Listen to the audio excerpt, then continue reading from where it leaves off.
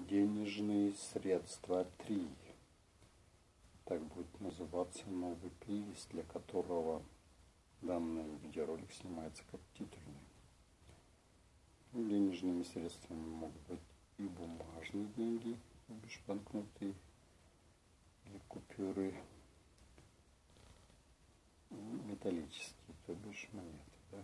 Тут есть и доллары, и тенге, деньги российские, то есть советские рубли и первые деньги российские рубли, монеты.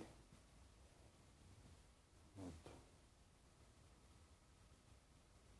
Плейлист «Денежные средства 3» создается, потому что плейлист «Денежные средства 2» приближается к предельному количеству, то бишь 5000, чтобы дальше собирать видеоролики этого направления, этой сферы, нужно создать новый делаю.